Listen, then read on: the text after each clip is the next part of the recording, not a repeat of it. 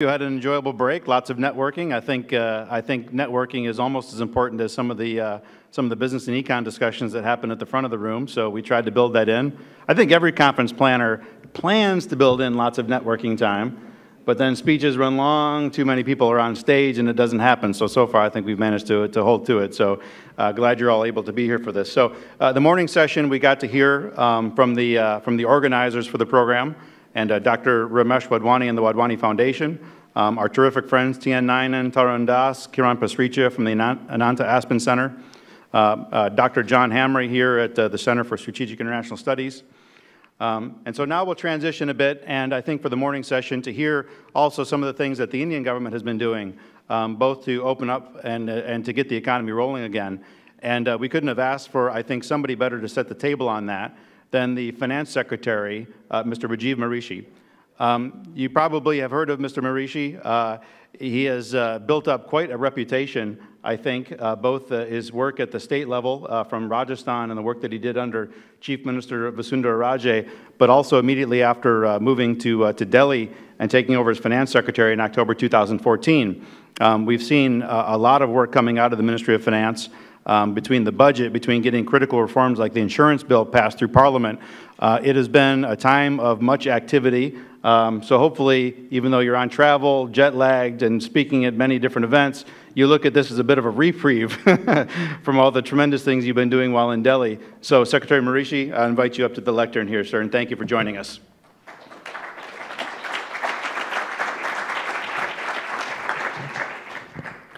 Thank you, Rick, for your kind words. And thank you, CSIS, for having me here today and giving me this opportunity. Uh, it's never easy to fit, you know, fit into another person's shoes. And I believe I'm filling in for N.K. Singh, who's not here. And N.K. Singh's shoes are actually quite large. So I don't know whether I can fit them, but I'll try to do some justice to them. The advantage, I, of course, I have of uh, filling in is that I can choose to ignore the topic given to me. and so I don't have to pretend I know things about the topic. And uh, so I've decided to actually talk today to you about uh, an area which not very many people understand very well in India. So obviously, I'm quite sure that very little understanding of it is uh, available in the United States. But as people who want to engage with India or who are engaging with India, I think knowing this part of India is also important. So I'll speak to you today about uh, fiscal federalism and fiscal relations between the center and the state in India and how it impinges on prospective investors who have to work in India or who are working in India. As I said, this is a area that not too many people understand in India also. So I hope if I bore you, please raise your hands, I'll stop. well, like most countries, uh, India also has a three-tier structure, like most, many countries. So there's a central government called the union government, there are state governments, and there's a third tier of the local governments. Today I'm going to concentrate and tell you about the first two tiers, there's the central government and the state governments, and how their relationship uh, is structured and how it is now evolving in very meaningful and interesting ways. And this evolution is taking place, uh, has uh, sort of picked up speed in the last couple of years, last two, three years, and is showing up in very different uh, uh, uh, sort of actions and recommendations and developments. So the work is divided between the state and the center by the constitution. Uh, the tasks given or the powers that the central government can uh, exercise are in what is known as the central list. And what the states can do is known as the state list, including the areas where they can tax. So there is some taxation powers which are devolved to the states, notably sin tax like tax on liquor, and also tax on sale of goods. It's important that you note this because I'm going to talk about GST too. So uh, tax on uh, sale of goods is also with the states. There is also a third list, which is known as the concurrent list, which is unique to India, where both the state and the center have concurrent powers. And, but the constitution provides that should there be legislation, by, and both the center and the state can legislate, but the constitution provides that should there be legislation by the center, then uh, the center's law will prevail. And it's important that you note this also, because I will refer to the state's yearning for change by referring to the example from Rajasthan of labor reforms, which are in, from the concurrent list. And they impinge heavily, as I said, on investment and investors in, in, in India. The revenues collected by the central government are the major revenues of the, of the country. They include custom duties, excise duties, service tax. So they are major, the major revenues collected by the center. And therefore, the Constitution also provides in Article 280 that the revenues collected by the central government would be divided amongst this, between the center and the states, and then amongst the states. So there's Article 280 of the Constitution of India provides for setting up a finance commission every five years and uh, recommend the division of fiscal resources between the center and the states and from the share of the states amongst the states. We've had recently a report of the 14th Finance Commission, which has been implemented in great part. And this is also to be noted because I will refer to this also in a short while on how it has affected the balance of power between the center and the states. To the credit of all the governments in India from 1950 onwards, the recommendations of the Finance Commission, though they are recommendations and therefore technically rejectable or acceptable, but it's to the credit of all the governments in India, central governments in India, that from the first to the 14th Finance Commission, no major recommendation of the Finance Commission, especially recommendations regarding devolution of taxes, has ever been tinkered with. So that is uh, a maturity shown by the central government that it has treated the uh, recommendations of the Finance Commission as an award. now, I will talk now, therefore, this, having given you this background or the scheme of things, I will talk to you about now three developments that have taken place that are evolving now and which impact uh, the politics of the country and impact economic activity in the country. The one, of course, is uh, the often talked about introduction of GST, the general sales tax, because till now, because of the constitutional scheme of things, you have to pay a tax to the central government, you have to pay taxes to the center, you have to pay taxes on, for example, imports, on service tax, and also uh, tax on manufacturing, known as excise duty. And in the state, you have to pay tax on sale of goods. That tended to have a cascading effect on the taxation, uh, on the tax uh, incidence on the goods and make it more expensive. And it also meant uh, a harrowing piece of paperwork involved in not only meeting requirements of two tax authorities, one in the center and the state, but actually of 28 tax authorities, because each tax authority in the state had its own sort of rules and laws to deal with tax on sale of goods. So the uh, GST is an idea which is to amalgamate the two taxes. It is being done by building consensus. There is no, uh, there is no constitutional provision where the central government can impose this on the states, and therefore it has to be done by consensus. And uh, it has been under discussion now in various ways for nearly a decade, less than a decade, but almost a decade.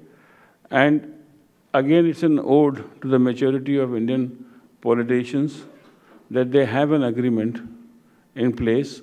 And as a consequence, Finance Minister Jaitley has introduced uh, in the parliament this year an amendment to the constitution to allow for the amalgamation of these taxes.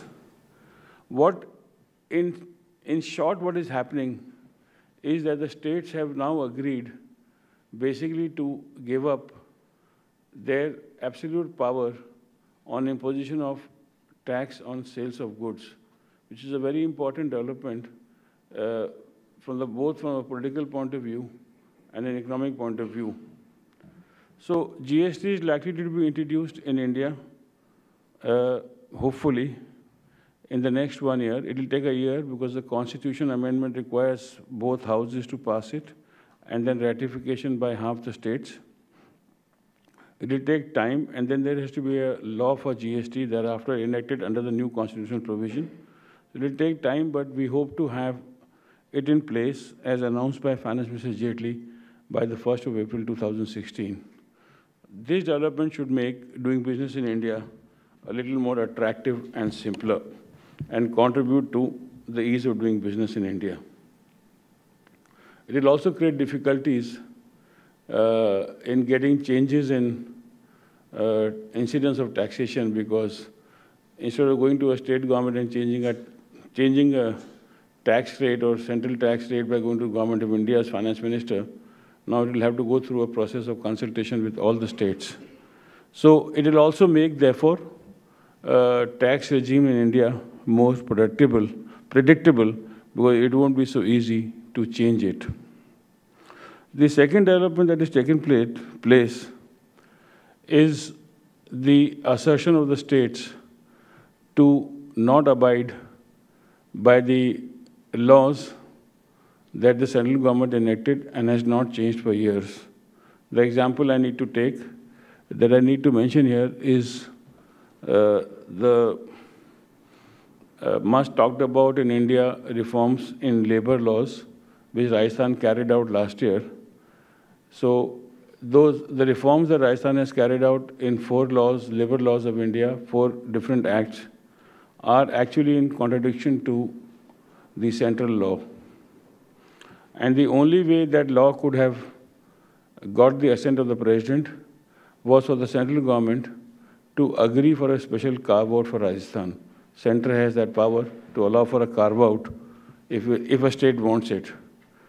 And it is again uh, a sign of the times, an indication of shifting uh, power equations in India between the center and the states that the government of India endorsed the amendments made by the Rajasthan. So Rajasthan now has, is perhaps the only state which now has uh, much eased labor laws compared to the rest of the country.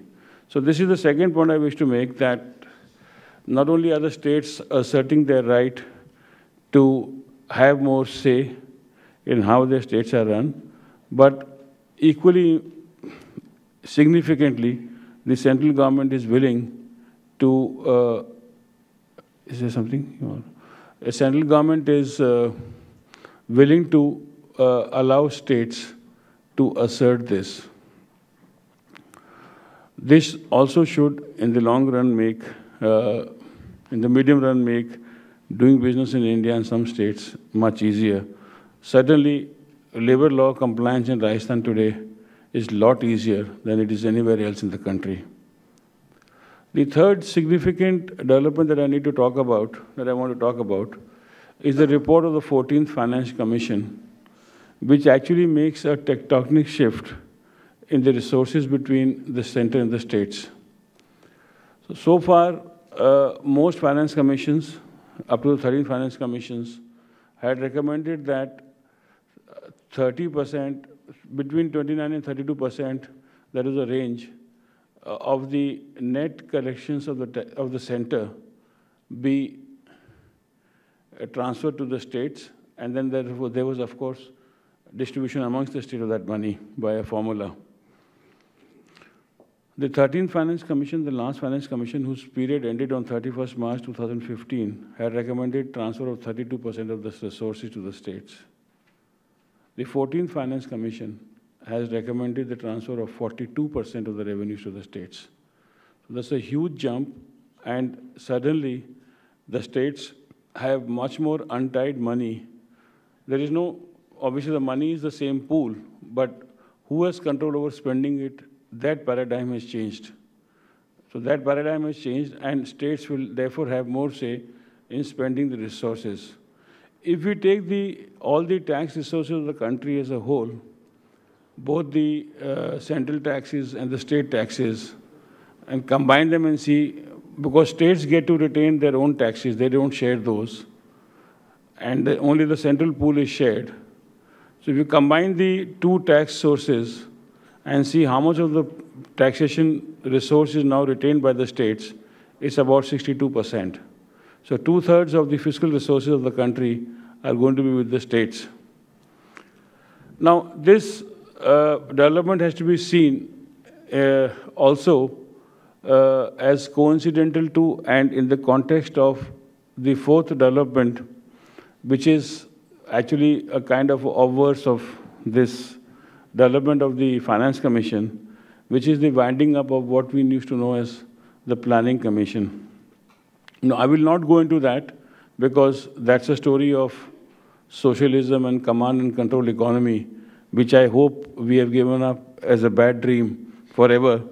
But uh, uh, that, uh, but the recommendations of the 14th Finance Commission are actually a very important step in not only empowering the states, but also finally burying the ghost of that command and control economy. So we don't have a planning commission in, the, in, the, in India anymore, and uh, we don't have any uh, set pattern of command or targets to achieve in terms of development, etc., whatever the planning commission was supposed to do. Now, this, the three important developments that I talked about, the likelihood of there being a GST, the likelihood of more and more states making laws which are not consistent with central laws and therefore perhaps not as moribund as them. The central government has more difficulty in changing laws because it needs consensus building amongst the states, but the state has to only decide for itself. So second development of perhaps laws becoming more friendly, more welcoming, uh, to the investors. That perhaps that trend, I hope that trend has started with Rajasthan, and I hope it continues. I am told that as we stand today here, Rajasthan has now uh, finally passed some amendments to the right to education bill also, and they're on their way to Government of India for approval. So that is the uh, second important development. And the third important development is that the states have a lot more financial resources at their command to spend as they wish. Now, what does this mean? So I said I'll link it to investment and investors. So what does this mean and imply? I have said broadly what GST can mean for investment. I've also said that labor, uh, labor laws, etc., are uh, uh, can be eased by the state governments without waiting, waiting for the central government's uh, elephant to move, and that the financial powers give states more assertiveness. So what does it mean for the investor? Investor, in India, if you're going to invest, then one thing that we have to realize that we have to deal with two different governments.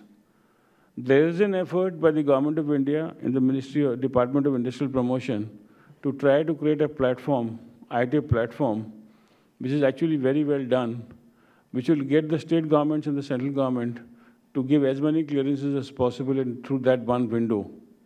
But still, while entering India, you largely deal with the government of India. But once you have entered and invested, because you to build a factory or you to run a factory or a business or a, uh, some, some business you to run within that, that business is situated in, this, in one of the states. And then once you are in there, then you will deal largely with the state governments. So this we have to reckon with and recognize. And these developments that have taken place on the financial economic front are consistent with developments that have taken place in the last 30 years, political developments that have taken place in the last 30 years, where political power has gradually shifted to the states. So states are going to be meaningful for all investors. And I think that is a very positive development for investors in India, whether they are domestic or foreign. It's a very positive development because state governments are smaller governments and therefore they are easy to navigate. In my opinion, they are easy to navigate and uh, easy to understand, easy to approach people who can take decisions, as opposed to central government where decision making can be very, very disparate. So uh, I think it is uh, going to be, it's a very good development that is happening. The state governments will be able to take more decisions. They are capable of taking quicker decisions because they're a smaller government. They are capable of being more flexible. They are more, uh, they can be quicker and faster. Secondly, and more importantly, state governments actually understand the importance of investment much more than center does. For the center, the benefit is somewhat intangible in terms of GDP growth, foreign exchange reserves, etc. For the states, the, the, the, the, the outcome is very, very tangible. A factory comes up, people get employed, shops come outside the factories, trucks, number of trucks increases. So the benefit in the states can be seen in a much more tangible fashion. As a result, it is also my conviction that states are much more investor friendly than the center is. And therefore, it's also my conviction that uh, basically, not that center is unfriendly, but center is not capable of helping beyond a point. It can ease your entry into India, but beyond that, it's the state government which has to, uh, which, which you have to survive. And state governments do realize the value of investment. And I'm sure that many of the friends here who have gone and interacted with the state government, especially if they've gone to states like Gujarat or Maharashtra or Karnataka, would have found the response to be extremely positive, friendly, and quick. So this is the major development that uh, I wanted to talk to you about today. I hope I haven't bored you. And uh, well, even if I have, I can only apologize. But uh, I stand here and I'll take a few questions if somebody is interested. Thank you.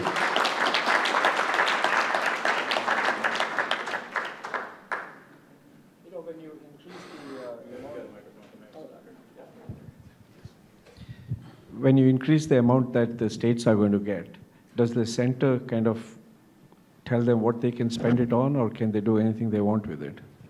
No, once the, that's the, see, the, that is the whole issue, that the planning commission uh, used to run things called the centrally sponsored schemes on items which are in the state list.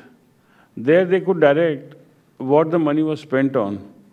And states had been clamoring now for many, many years that we don't want to be directed by the center on how we handle our problems. So we know what our state's requirements are. So, for example, there was a, there was a scheme on roads called the Pradhan Mantri Gramin Sadak Yojana, which Rajasthan took huge advantage of, but Gujarat couldn't, because Gujarat had all the roads in the world already, all the roads they wanted.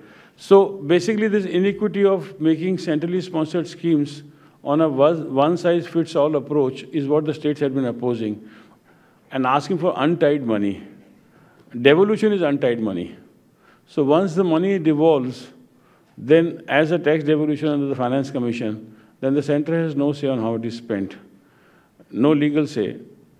There can be other ways of uh, trying to arm twist the states, but there's no legal say. I have one other short question, you know here in the United States, when we do work for the federal government, okay, uh, and I invoice them, they have to pay me in 30 days or they pay interest automatically. Okay. Do you have any such plans in India? No, we don't. Uh, and uh, uh there is uh, no law which governs it, but naturally that's one of the areas of concern that we are well aware of, delayed payments and the corruption that arises as a consequence. And therefore, in, a, in, the, in, the, current budget, Finance Minister Jaitley has announced that he would be enacting a law on public procurement. That should ought to cover this.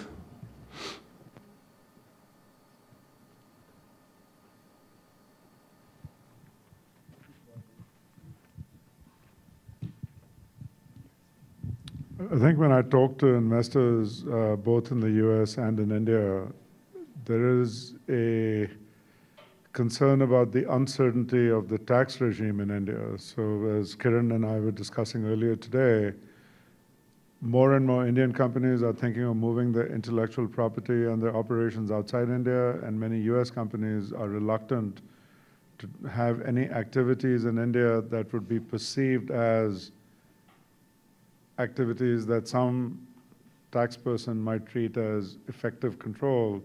So the end result is uncertainty of taxes. Is there any thinking about how to streamline that, not just in policy, but in the text of the regulation so that companies that are in this room and companies in India are much more strongly incented to, to invest and keep the investment in India?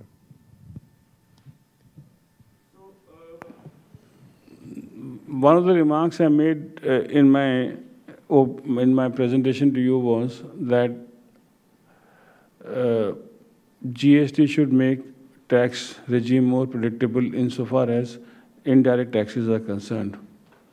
So that uh, should cover it. Of course, the major worry still comes from direct taxes, which is tax on income. It comes from the recent, recent imposition of MAT on certain FIIs, etc. So we are, uh, you know, the problem exists, one can't deny it. And since we have recognized the problem, I'm sure that uh, that's the first step towards finding a solution to it. And I think in all fairness, I can say that uh, this government has been rather serious and rather sincere about uh, not having what we in India we call tax terrorism. So, uh, so therefore, it, it sort of uh, put its, uh, you know, uh, foot where its, its mouth where its words are, because it actually uh, didn't appeal the, for example, the Vodafone case in the Supreme Court. And it has, uh, uh, Finance Minister Jaitley has announced on the floor of the House that he has no intentions of uh, ever using the tax, the retrospective tax uh, uh, provisions that exist in law. Having said that, uh, this is not the easiest of things to do, as you can appreciate, because uh, changing uh, the structure of tax laws in any country can be quite challenging. But I can only say that uh, the policymakers are aware of the problems. There is an ongoing, there is tension between the within the central government on how to achieve this end which is a good sign again because it means there's thinking going on, there are views being put on table, and I'm, I hope that sooner rather than later we'll come out uh, with uh, a solution which makes tax regimes more predictable. The last thing on this is that we are also uh, willing to sign, and we have offered it to the United States also. We are now currently in talks with Canada, sign bilateral investment treaties which can cover some of the uncertainty issues that arise for foreign investors. So bilateral investment treaties we are open to signing. We have a text on our website which is accessible to all to see and comment upon. And as of as I speak to you today, which is the last day of our negotiations with Canada, we don't have a deal as yet, but I'm sure sooner or later we'll have a deal with them. But we have had two, three rounds of negotiations. Yes, ma'am. Thank you very much. My name is Susan Finston, and I've been a consultant in Washington, D.C., and also work uh, with pharma industry. In fact, also consulting for Wadhwani Foundation on MSME innovation for creation of social and economic value through entrepreneurship. So, building on the tax question uh, that was just asked by, by Ramesh Wadhwani. There are two areas specifically when you're looking at Indian tax policy that can provide incentives for entrepreneurship and for creation of social and economic value where I believe India could draw from the U.S. and other examples. The first is that right now high net worth individuals have disincentives to invest and become like angel investors or to contribute to the growth of high technology because there's no tax credit system. In fact, the incentives run against for high net worth individuals. And if you're looking at tax policy, I think looking at the policy that can incentivize investment instead of as, as was said, the removal or offshoring. And the second is for the MSMEs themselves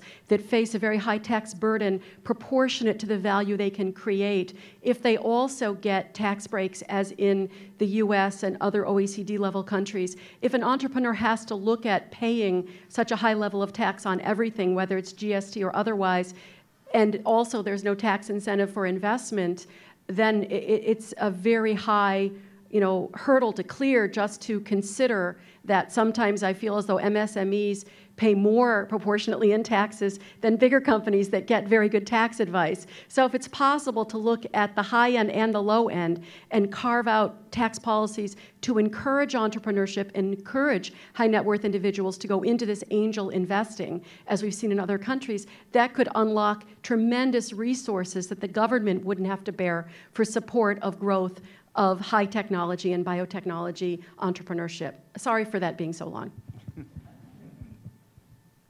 By making the answer short. uh, but uh, basically, uh, for on the taxation principle, whether it should be resident, residence-based or business-based, is also an ongoing debate in India. And your issue of angel investors emanates from that. I think some steps have been taken this time in the budget because we have announced tax reliefs for uh, collective investment schemes, including for foreign investment, and for uh, also as for uh, investment trusts and real estate trusts. So I'm not the uh, uh, tax expert, but there are reliefs there kindly have a look, and if you need any clarifications, if you bung in an email, I'd be happy to respond to it. Regarding MSMEs, the question is more complex because actually uh, what has happened is a strange, the outcome of a honest effort has been uh, unfortunate because they kept giving carve-outs to MSMEs and that has created another uh, issue that they don't get, therefore, tax credits when they actually sell because their sales are exempt from tax. So the, the real trick here is to get them back into the tax system so they're able to get tax credit on their purchases. You know, and hopefully that would happen if uh, GST is implemented. So again, uh, I admit that MSMEs have an issue right now, and uh, it would be their interest to realize that they are better off uh, in the tax system of the GST than outside it, because outside it they get no credit for the tax they pay on their purchases, whether it's direct or indirect. So thank you so much. Thank you once again for having me. And uh, I hope that uh, I have you, I have inspired some of you to come and invest in India. Thank you. so when's the last time you had a tax conversation and laughed that much? Um, so pretty, pretty unusual character. But as we all know, tax is one of the things that keeps CEOs up at night. You know, more than most of the stuff that I think that makes up a government affairs uh, conversation. So it is an important conversation to have when we talk about the, uh, the environment. So Secretary Mehrishi, uh, I really appreciate you uh, coming and, and, and sharing those thoughts. So uh, right now we're going to uh, we're going to switch over to the to the skills panel. So if the panelists could please come and join me on stage, and, and we'll continue on. But thank you again, Secretary. Great.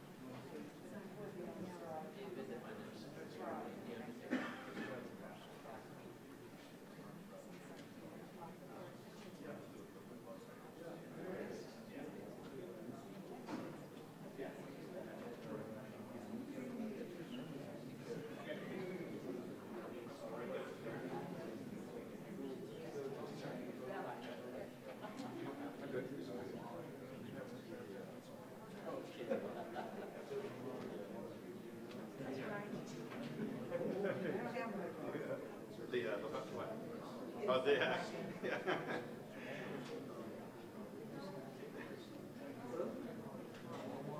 Did you met earlier or something with Boeing and Ajay Kela? Uh, just the, yes, no, no, no, yeah. Yeah. Last minute substitute. The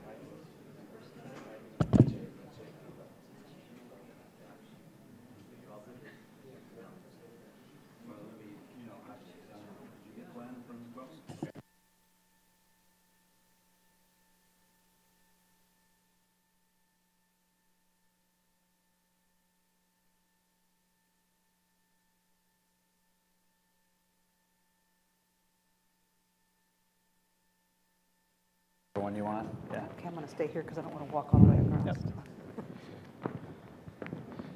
Well, thanks, everybody. Uh, I think that was a pretty interesting conversation by the, uh, by the Finance Secretary and a good setup for the programs we're going to have uh, ongoing throughout the day. So now we're going to begin um, three panel discussions, one before lunch, which is going to talk about skills development, and then we'll have two panels after lunch as well. Uh, the first one uh, looking at uh, India's uh, concept of smart cities and how the United States can contribute to that, and then wrapping up with the final panel on Make in India. So investors looking at this Make in India campaign to see whether or not um, there really is a, a, a, lot that can be accomplished through that. Um, so a variety of companies that have invested, will invest, uh, and also our good friend uh, Jay Panda, member of parliament from Orissa, um, talking from his vantage point as well on what the Make in India campaign looks like from the state level. So uh, it's a little intimidating uh, to, to, be up here because, of course, uh, one of my own gurus from my beginning in the 1990s in doing US-India, Tarun Das, um, is uh, joining me on stage. I think uh, most of you, I'm sure, uh, have run across Tarun at some point. Um, Dr. Ajay Kela, who is the CEO of the Wadhwani Foundation, and so a very important person in my life, in my role here at, at CSIS. Um, and, uh, and, and, a new person for me to meet as well, uh, Gwen Copsey, who's Vice President for International Strategic Partnerships at Boeing.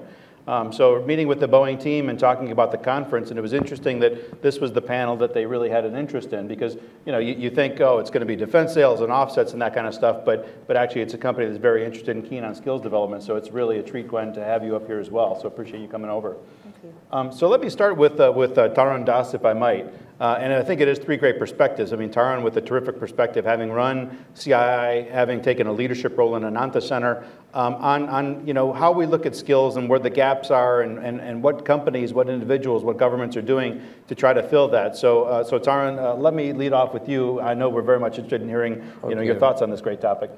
Okay, I'll just make um, five points, Rick, and thank you for having me here. One is the history of skills development in India, and just in couple of lines. Um, it was completely government for a long, long time. There were something, there was a structure of something called Industrial Training Institutes. We call them ITIs for short. And that is where skills training took place around the country, uh, managed by the Ministry for Labor, and private sector was not in the game. If private sector was in the game, it was only doing skills training for their captive needs, for their in-company needs. All right? So that's the history. When Dr. Manmohan Singh was Prime Minister, actually in that government they started worrying about this whole skills issue. And I had the privilege of chairing the first government task force on skills development. You know, nobody really looked at skills hmm. development as a policy, as a strategy. It was happening, and then somebody realized that, you know, maybe things were not going right for us. And we had all this demographic dividend, which could be a demographic disaster. Right?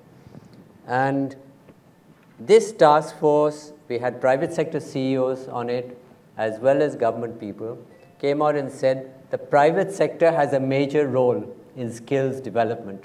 So we need to move the ball out of the government and look at private sector's role, look at public-private partnerships, and how to take this forward in a different paradigm altogether, right? Point two.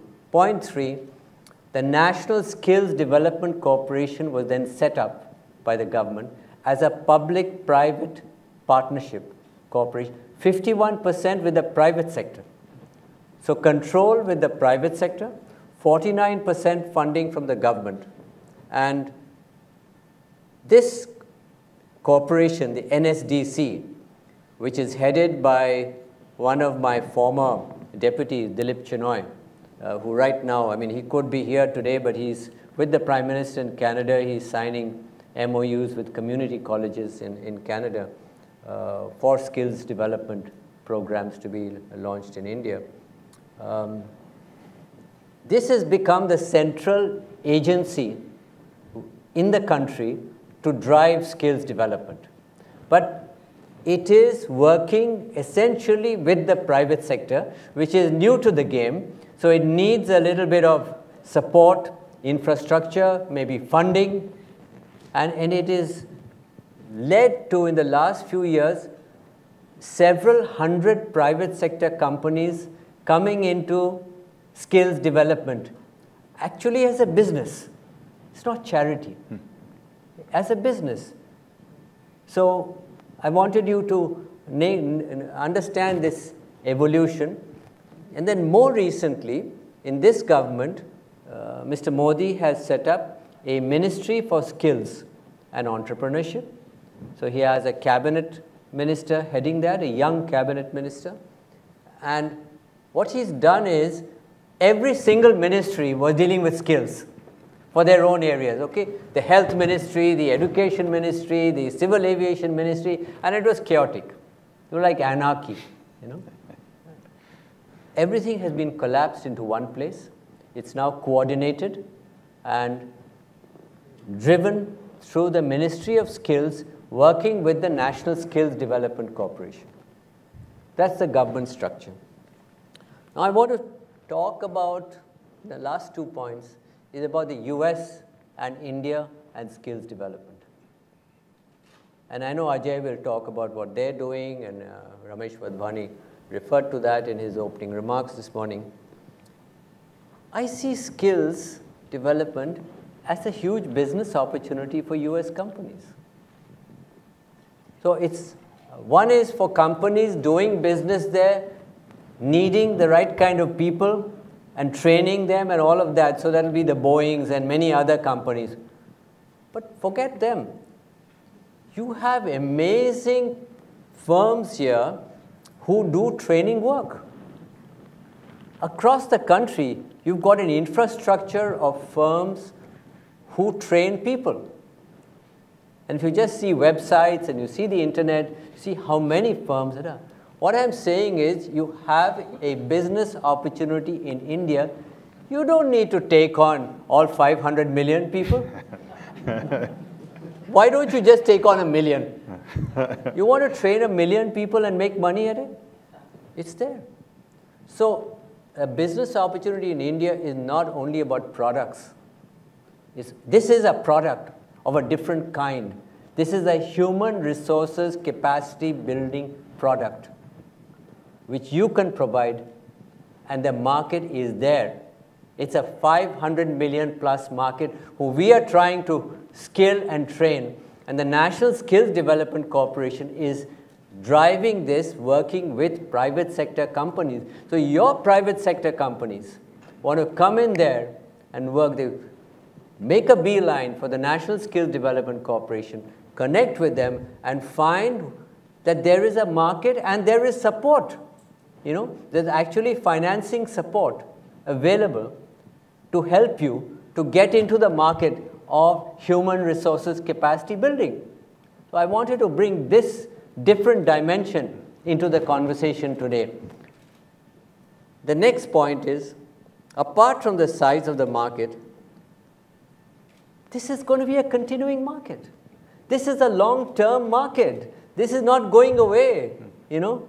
It's, this is not about buying uh, 30 aircraft or something. And, you know, then depending on after-sales service or spare parts or whatever, human beings in India got to be trained for the next 100 years. We, we better start using You know? other than aircraft for Yeah. the panel here, since we got an expert, so. I'm looking at her, so she's going to come in and, you know. Yeah. But what I'm saying is that this is a continuing market forever. And because we have hundreds of millions of young people who need training, who need development, so th- there it is. You know, it just shows you the size of the market. I'm not sure whether in the US skills development is seen like that. You know, as far as India is concerned, is it seen as a market? Is it seen as a long-term market? And then, if you take what Mr. Mehrishi said just now, forget the whole of India. Take one state. In one state, you have to train a million or a couple of million people. Just work with one chief minister, one state government, and focus. So, one company or two companies can go in there and say, I will work with Rajasthan. They've got great labor laws, they've changed everything. They've got a great investor friendly administration. The chief minister is very pro working with the US. I will go and work with them, and the National Skills Development Corporation will give me backup. So, give you confidence, hand holding, and get into the market and focus on one geographical area in India, not necessarily look at you know, the whole of India. I feel, and this is my last point, your smaller firms who are hesitant about India because it's tough to do business there, it's complicated. But this is green field. There are no regulations. There are no regulations. You can go and, and the cost, the low, the, the commitment of money is nothing. You know, you don't have to build a building now until you make your millions. Uh, you don't have to invest in fixed assets. You can rent space. You can rent. So it's a low cost operation. There are margins there. And smaller firms in the US in the services sector who are providing training to people here can actually look at that country, look at India as a very good market. So it's, it's a way of also getting into that market at a SME level, not necessarily just the big corporations. Thank you. Good, great, thank you, Tarun. Well, um, since you wrapped up mostly looking at, uh, Very good. Um, at the private sector, then maybe Gwen, I'll transition to you since as a private sector player here and how you look at uh, the skills development uh, market in India. So if I can turn it over to you to, to Okay, follow sure, and. I'm going to Yeah. step down here and use the Perfect. podium. Yeah, great.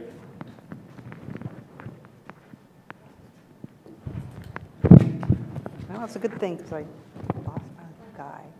Oh, I think I'm good. Can you still hear me? All right, good. Well, let's see. When we look at India, you know, India stands today as the world's largest importer of defense equipment. India's government, under the leadership of Prime Minister Modi, and you've heard a lot about this this morning, has realized the importance of reversing this trend with initiatives such as uh, Make in India, expected to provide further support to locally manufacture uh, and assembly defense equipment. This effort is more than just an aspiration. India has both the capabilities and the government support to transform the country into a net exporter of military hardware. And as we consider India's ambitious path, we have to consider a few factors that will be important along the way. Now, first, we realize that India is a late entrant to the export led manufacturing model that has transformed economies around the world, like China and other Southeast Asian countries. In earlier decades, India has seemingly skipped from manufacturing as the economy transitioned from agricultural to services, but is quickly gaining capabilities and momentum in the manufacturing sector. Second, we have to take into account the consideration, the necessary conditions to grow domestic defense manufacturing, including sound infrastructure, predictable tax policies, as we talked about earlier today, uh, pragmatic labor laws, and government incentives. And above all, however, it's the availability of the skilled manpower that is the most important enabler, because without it, India cannot sustain a competitive defense industrial base. So for aerospace and defense manufacturing, the required talent pool can be broadly classified into two areas. One is the engineering and the manu manufacturing and the management pool. And the second one is the frontline factory worker.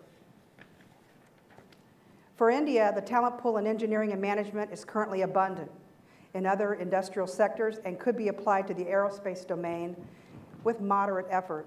The real challenge, however, is the pool of frontline factory workers. India currently does not have a large enough workforce with such skills as precision, machining, fabrication, and assembly to meet the needs of aerospace and defense companies. This shortage of talent for skilled frontline aerospace factory workers in India creates a vicious cycle of skilled capability output mismatch. The skills are in short supply, so capabilities don't grow, and as a result, the output of the Indian aerospace manufacturing sector remains stagnant. The ripple effect then takes over. A shortage of skilled workers does not attract fresh investments, which further reduces opportunities to grow skills, and it ultimately limits the significant growth in the India's aerospace and manufacturing area and defense companies. So how do we bridge this gap between what India has and what global aerospace and defense companies need? And to answer that question, we need to take a look at the progress and limitations for Indian aerospace and defense companies. Since, opening, since the opening of India's defense sector in 2001, we are see, seeing private companies showing interest and participating in aerospace manufacturing. Unfortunately, the effects of the sector being closed to foreign investment for so long still does exist. Both public and private sector manufacturers have gaps in their aerospace manufacturing skills because Indian companies simply were not exposed to the global aerospace and defense manufacturing requirements. Now, Indian companies are increasingly gathering the skills to manufacture specific work packages for major companies like Boeing and others. But those skills are specific to that project that that company is working on. That limits true skills infusion that would enable a company, an Indian company, to grow and compete for more diverse and complex work in the future. Certain Indian companies have invested in their own aerospace manufacturing cells and their skills development infrastructure in the form of labs, equipment, curriculum, and trainers. However, many of the emerging micro, small, and medium enterprise uh, companies simply cannot afford to make such investments. And further complicating matters is that there isn't a single agency in India that can authorize at this time an aerospace manufacturing curriculum and provide industry recognized certifications. And while some may hope that increasing the foreign direct investment limit would encourage foreign companies to help overcome the challenge, that many may not, that may not be the case. Foreign companies may be reluctant to make such investments given the reality of current skill levels and the length of time it requires to scale up. So I'm going to return to that question. How do we bridge the gap between what Indian companies have and what global aerospace and defense companies need?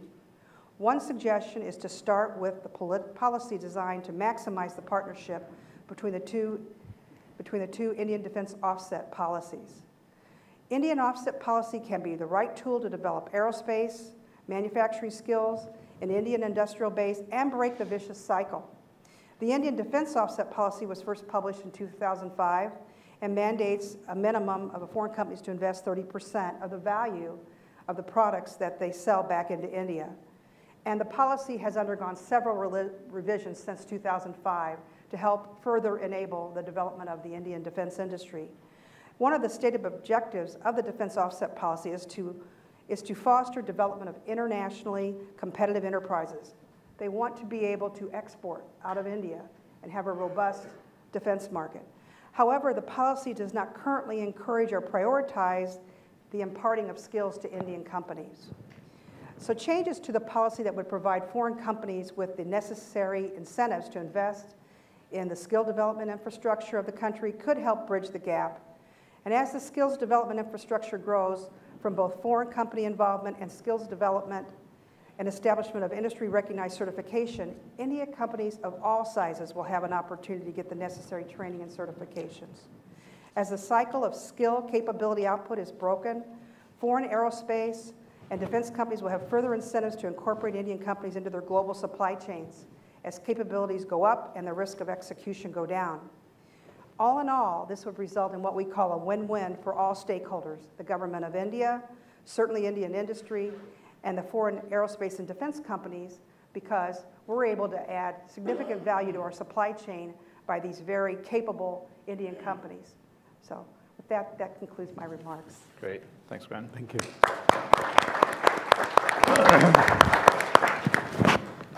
Well, that's a, that's a new, new angle, I think, to take a look at, uh, at offsets. I, I've heard, you know, a variety of industries talk about these dollars generated through offset requirements as uh, plugging this hole and that hole, and sometimes it's a, a tenuous grasp at best uh, to what the purpose of an offset policy is, but to actually provide the education and tools for Indian uh, uh, manufacturers to get up to speed, I think is a, is a pretty novel, uh, novel thought along those lines. Um, so we, we've taken a look at what government has done, what private sector has done, and of course, with the foundation, it starts with a number, getting so many people into jobs rather than kind of building it up from the business side. So Ajay, can you sort of walk us through, you know, the foundation and how they approach this idea of getting people into jobs and the role that skills plays in doing so? Okay, sure, I'll happy to do that. Good, good morning to everybody, and uh, it was at the break I was told that I need to be here. uh, Ramesh had a crisis with one of his companies. Uh, he runs 23 companies, so there's always a crisis, but one of them happened to be right now. and uh, since, uh, since, since his companies generate most of the wealth that I get to spend, I'm happy to, happy to substitute for him. Um, so let me talk about the skill gap. Uh, why is skill talked about globally today. Uh, so let's start at the top and then I'll talk about what is it that we at the foundation are, are doing as well as what are the other organizations on the, in India that are doing on skilling. So today the skill gap is a global phenomenon. Uh, what academia is producing and what industry wants, there is a huge, huge delta. Uh, and that's reflected in what's happening. If you look at India today, even the IT industry, where the Indian, the Indian software engineers are, are rated the highest, uh, NASSCOM, which is a um, um, industry body, um, they did a recent study on the graduates that are coming out of Indian en engineering organization, and 80% of them are unemployable. So they don't have the talent that there is. So if you look at uh, Infosys, which is one of the largest uh, Indian IT companies, they've set up a large campus in Mysore uh, where they pre-hire students, uh, uh, uh, they hire students on graduation, they put them in a one-year training program before they uh, engage them in, uh, in jobs. Uh, also on the US side, even developed econo economies have a problem with the skill gap today about three years ago when we were looking at data. And, and the reflection of a skill gap is really, uh, it shows up in youth unemployment because these are students that are graduating and they are not employable.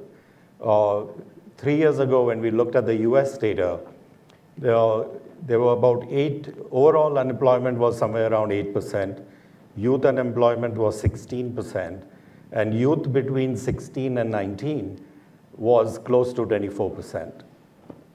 At that time, about 4 million jobs were open in the US, and 60% of the employers were complaining that they can't find the talent to fill the jobs. So I think you have talked about that as well.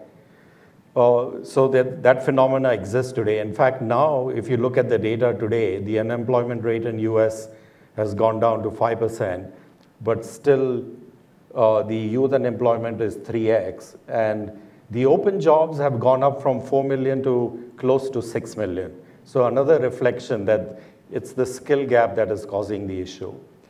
Um, so about three years ago, we as a foundation said, what can we do in this area? Uh, and since we were focused in India, we started in India uh, with the skill. Uh, it's a massive problem. India is adding about a million people a month to the workforce. So every, essentially every month, about a million youth are turning 18 and are entering the workforce, or, or they are going to colleges.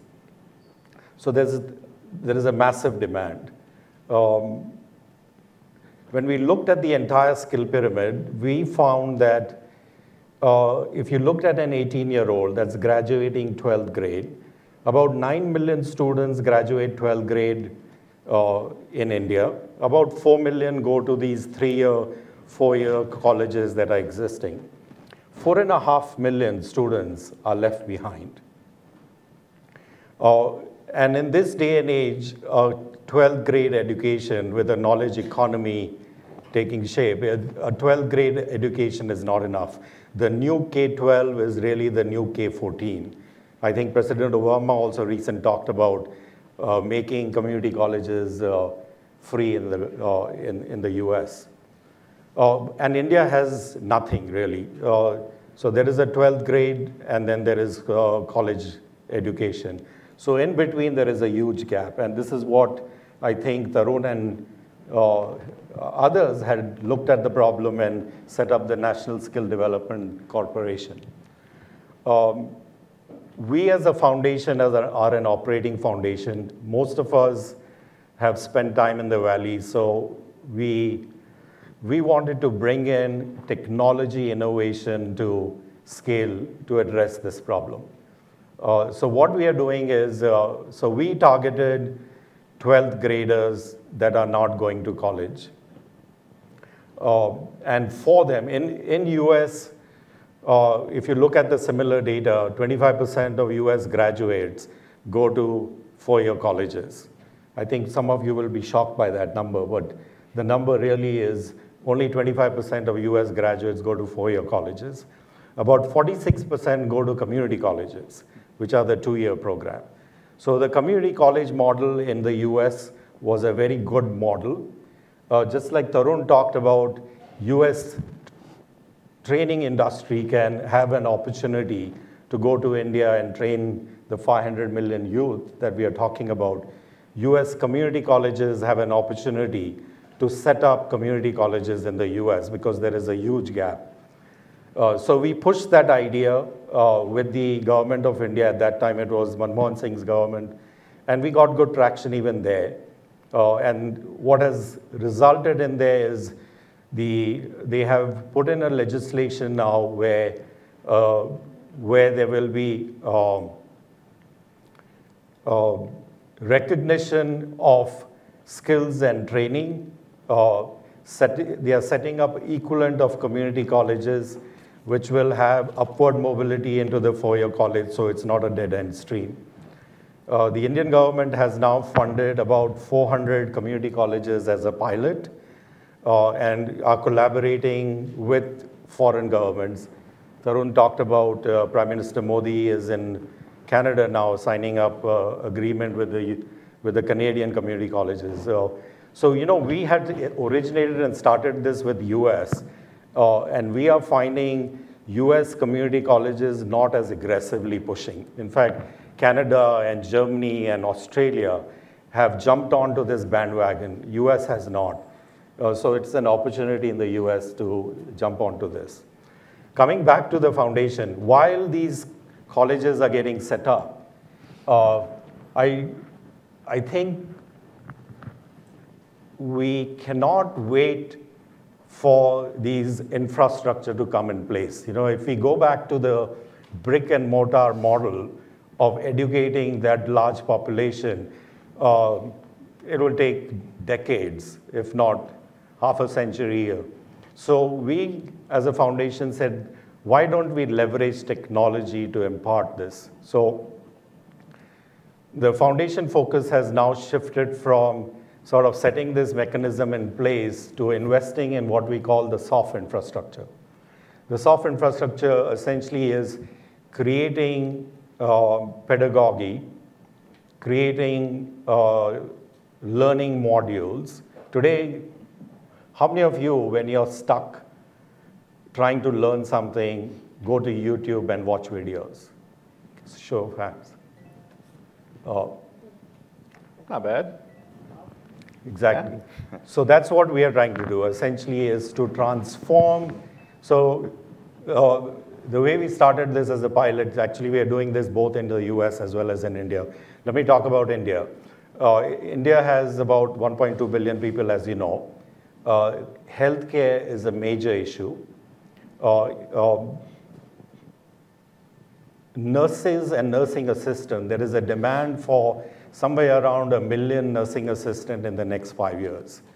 Uh, you don't need a college degree for that. You can take a 12th grader, put them through a one year or an 18 month program, and they can become nursing assistants, earning family supporting wages.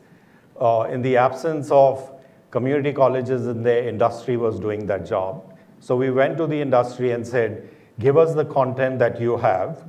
Uh, this is really not your job of training. Your job is to take care of the patients. We will work with us. We will transform your content, which is very teacher-centric and non-scalable, and transform it into videos, animation, and gaming, and offer it through the cloud to everybody in the industry. Uh, so about 18 months ago, we worked with one of the hospital chains. Today, we are working across five big hospital chains, about hundreds of hospitals that have adopted this program. Similarly, on hospitality, we are doing the same thing. Uh, and we are now entered into an agreement with the defense industry. Uh, defense industry needs a lot of you know, support. All the equipment that you are importing from defense need to be maintained and managed. So we are building up those, uh, those uh, uh, platforms. So essentially, long story short, the investment uh, in skilling can sort of only happen through leveraging modern technology to address the problem at scale. Uh, and that's what we are trying to achieve. Oh, terrific, Ajay. Thank you. Great. Um, we, have got a few minutes for questions, and I, I want to start off you know, one thing that I've learned, I think most of all, by getting to uh, uh, shadow uh, Tarun over the years is uh, cutting to the chase and knowing what is the flash and what is the substance.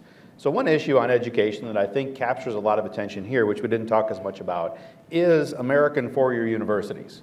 And is there a role they can play in contributing to skills and education in India? And this bill comes through, and it hasn't passed yet, about allowing foreign investment in universities is that a game changer? Is it not? Some schools don't like campuses overseas. You know, what's been your experience? Do, do you think that there's that much of a role uh, for American four universities to go there, set up, do things, or is it going to be, you know, other models, the private sector model, community colleges? Do you have a sense on that? Uh, Rick, I think we are sending about 100,000 students to American universities each year. Okay? Uh, that will only grow because the kids want to come to America to study. All right? It's not just studying in an American university in India, if there was a campus there. It is the whole experience of being here, being on campus, you know, all of that, international students, etc., etc. So that's one point. I think they, the drive, that, he, that, that hunger to come here to study is not going to come down. It's going to just grow, grow and grow and grow. It will, we'll have to see your university's capacity to take uh, more and more kids coming, you know, mm-hmm. depending on size of classes and all of that.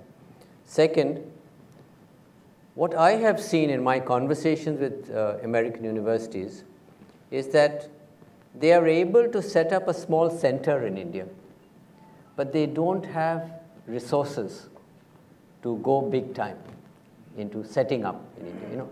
So they need then an Indian partner or, or, a, or a partner who will provide funds for, for doing that. Now, so private universities are happening in India now. Uh, there's one great example of the Ashoka University uh, near Delhi, which is uh, funded by private sector uh, entrepreneurs. They have collaborations with individual universities for different disciplines. So in a way, you're transferring the teaching and the know-how, mm -hmm. but you and you're getting paid for it. Again, it's like a business opportunity, which is great for the university, but it is not an investment by the university okay. in terms of money going out, because you need the money here. And I think after the financial crash, in 2008, I think a lot of universities, endowments, you know, were impacted big time. So my sense is um, there'll be different ways that universities will get involved there. A lot of it is to recruit students to come here, actually. It's a marketing office, Mm-hmm. you know, it's a liaison come marketing office. But as Ajay mentioned, community colleges are still not seeing the business opportunity in India yet. Today, the Prime Minister's team will sign up with 16 Canadian community colleges, 16 today in Ottawa. The National Skills Development Corporation CEO is coming here tomorrow for other meetings, and he was telling me that he will sign two agreements with two community colleges, one in Austin, Texas, and one somewhere else. But it's like, you know, more the exception than the rule. So I think we have some work to do here in opening the business opportunity to community colleges. It is a business opportunity, as I said. It, it's not charity and all that. And people like Ajay and all who are here and the Wadhwani Foundation can actually be very helpful in this process.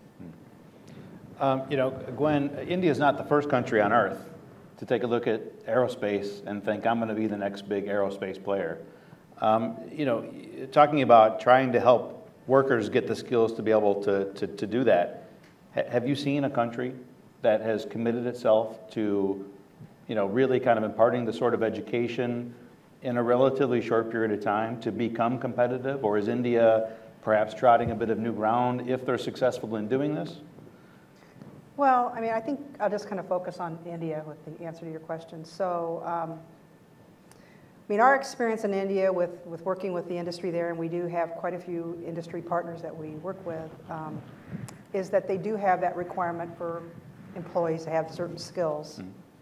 And so what we've found, and we've invested millions of dollars in India with uh, people that are help to develop supply chains, help provide skills on program management, uh, help provide some of the technical skills on the trades, et cetera. Um, and, but we've typically done it based on where we're sourcing the work. So we do it on a company by company basis, depend upon their needs. And that certainly is one way to get there, but it's not the way to get there probably the fastest that you would want to get. Um, so, so I absolutely agree with a lot of what you two gentlemen are saying here about how you need this more broader focus. Uh, and I'm, and I'm going to speak specifically for aerospace and defense because you know, I'm part of the Boeing company and that's what we're interested in. And I think it's, it's, it's, it's encouraging, having a, a model that encourages companies that are in India for the long term, which the Boeing company certainly is. We've been involved in India for a long term, certainly on the commercial side, more recently on the defense side. But there has to be uh, an encouragement and an incentive for us to, to do uh, more broad training and development and certifications for the kind of skills that are necessary um, for uh, like a, whether it's a sheet metal worker, an assembly, a person that does assembly, uh, quality, you know, quality management, all those kinds of things that are inherent in the certifications that you need to get for aerospace. And I would say the companies that, or the countries that have done it well, is a lot of what they do is they do encourage it through their policy and through some of their offset policies as well. It encourages uh, and recognizes the importance of skills development as they look at uh, projects that would be acceptable uh, for, um, for defense offset.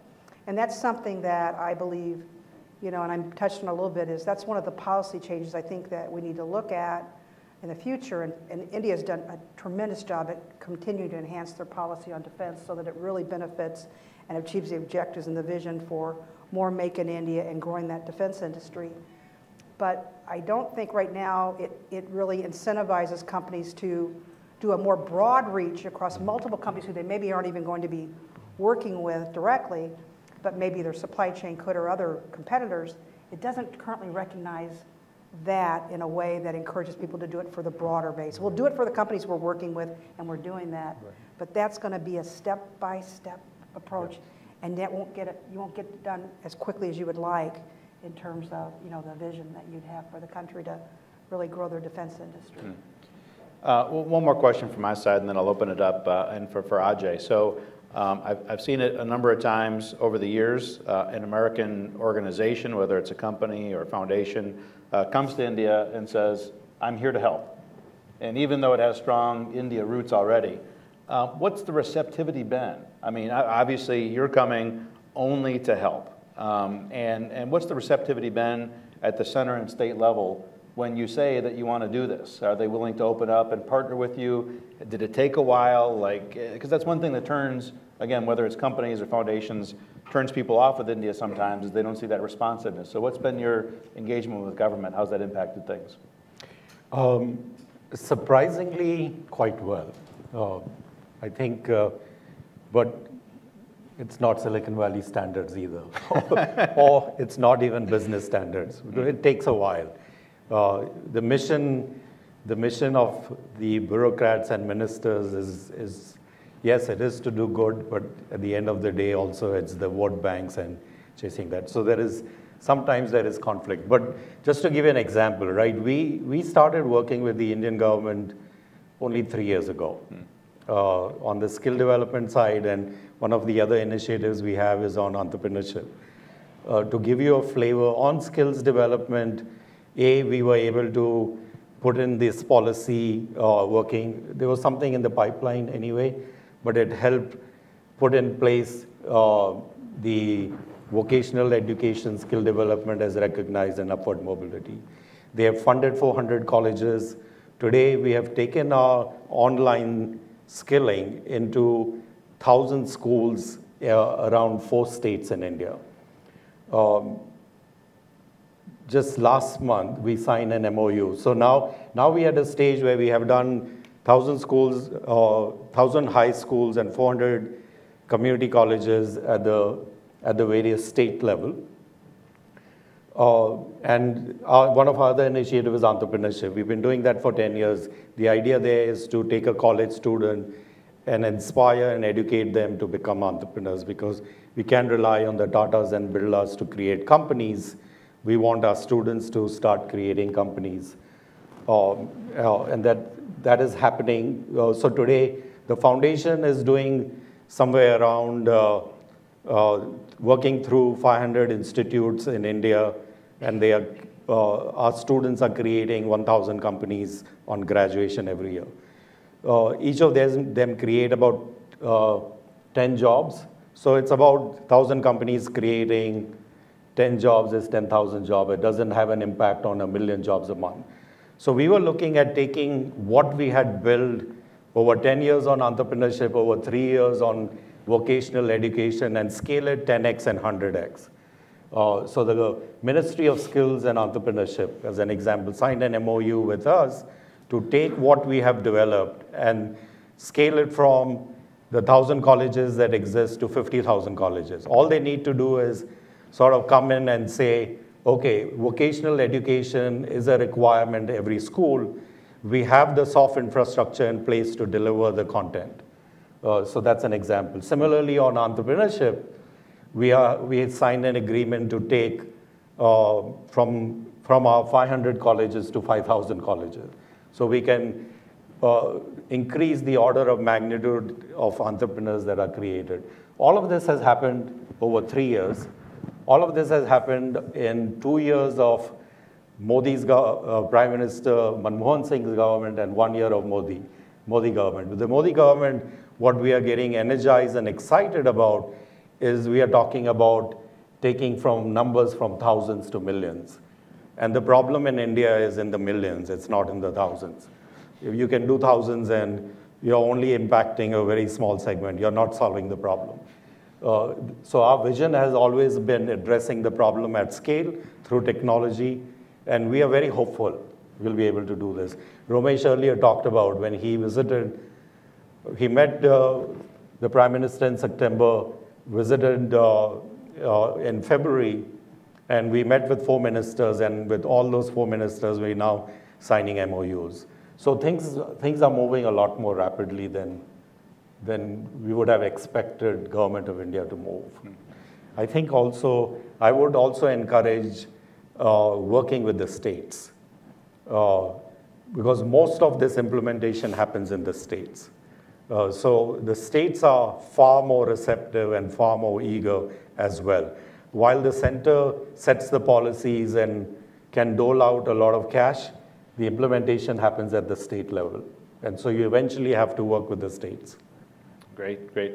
Well, we've got a couple of minutes before lunch, um, and so I'll open it up to the floor to see if uh, anybody else has questions. Uh, quite a few. Great, great. Well, we've got a couple of microphones coming around, so let's start on the side over here.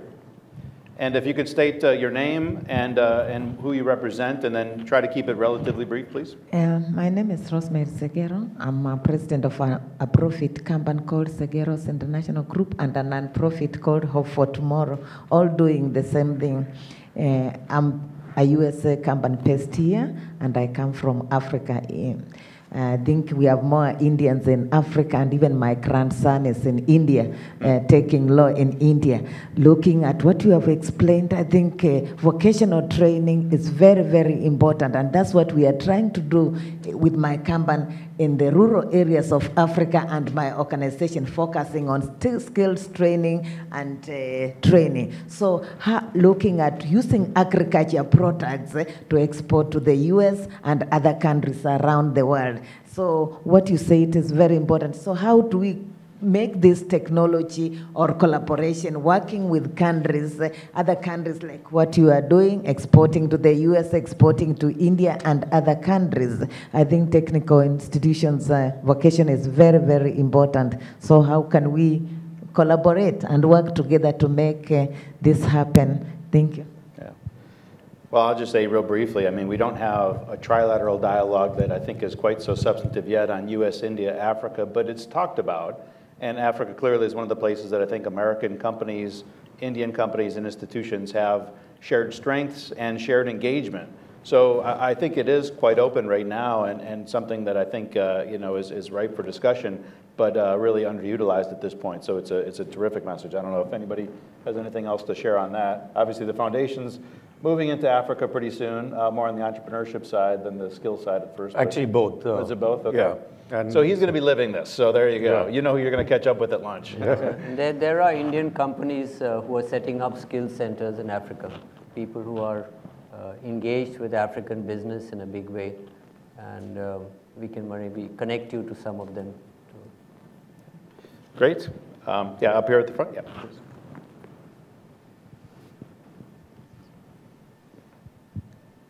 Uh, Dave Ramaswamy, I'm a consultant and journalist in agri agribusiness. Uh, my question is, you know, India with one third of America's land area has the same has more arable land, and yet the Indian agriculture sector employs 65% of the population with only 13% contribution to GDP. And as a result, similar to the job growth rates in the last 10 years, the agriculture sector has grown at only 2% per year. So my question is, given the productivity gap and consequently the nutritional gaps that exist in agriculture. How do you see skill development and entrepreneurship to increase uh, the nutritional content in India as well as create a whole bunch of new food entrepreneurs? Thank you.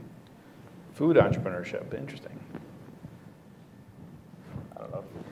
Tom Me too. I'll have a crack at it. Um, I think we are going through a whole process of changing Indian agriculture.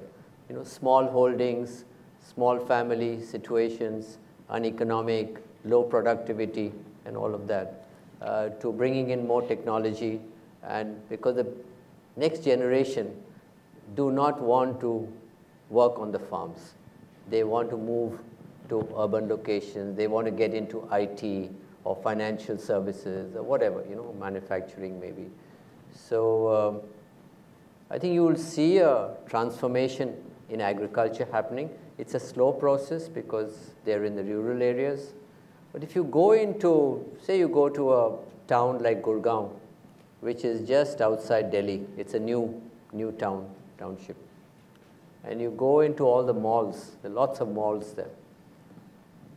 The, the shop assistant is a rural kid he has, he or she has got some elementary English knowledge, can operate the equipment there in terms of, you know, invoicing, receipts, and all of that.